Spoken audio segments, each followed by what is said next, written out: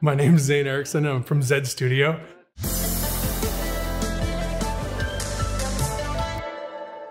And I am known for some really creative interpretation of my clients when we're designing custom homes.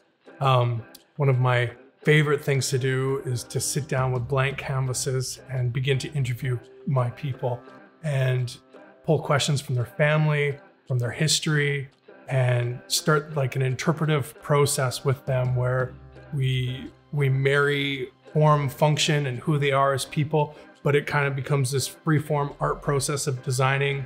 And what I love is that when the story is told about the home and how it's come together, um, our people are so engaged in the process because they know why the room went where it went, or they know why that roof is a sail piece. It's not just because it looks cool, it's because while we were interviewing, it came out that they spent years traveling around the world sailing.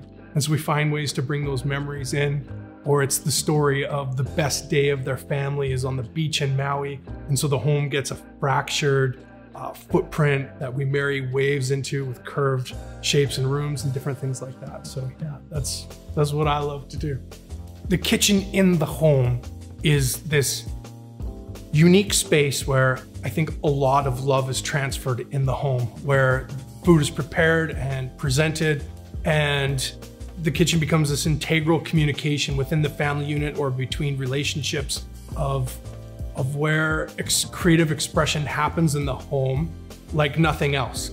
My sort of my approach to the kitchen is not just making it like a focal point of the home, but also really trying to draw people into it by placement. So whether that's, you know, making sure it has an amazing view or expanding it with uh, the flow of the family around from the stairs to the kitchen to uh, pantry, mudroom, different things like that. We always want the kitchen to sort of be in that center hub location of the home. Coming into Germanhaus and checking out Leicht, uh, the, the kitchen is beautiful. It's it's functional elegance is the right word way to put it. And like there are just little details that you see that matters. I I've really enjoyed the art form that I think goes into their pieces. And one of their philosophies at Germanhaus is really integrating the architecture into the kitchen.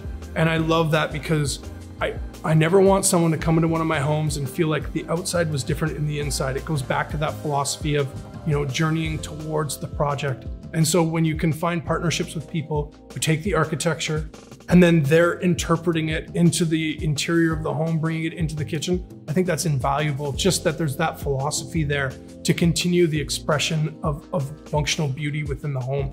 And the, the kitchens are gorgeous. They're very well built. Love, love the German manufacturing and just the integration of uh, your lighting and the integration of different um, different appliances, different knives, etc., that all go into each cabinet. So your cabinets can be so specifically designed around function. It's a beautiful product.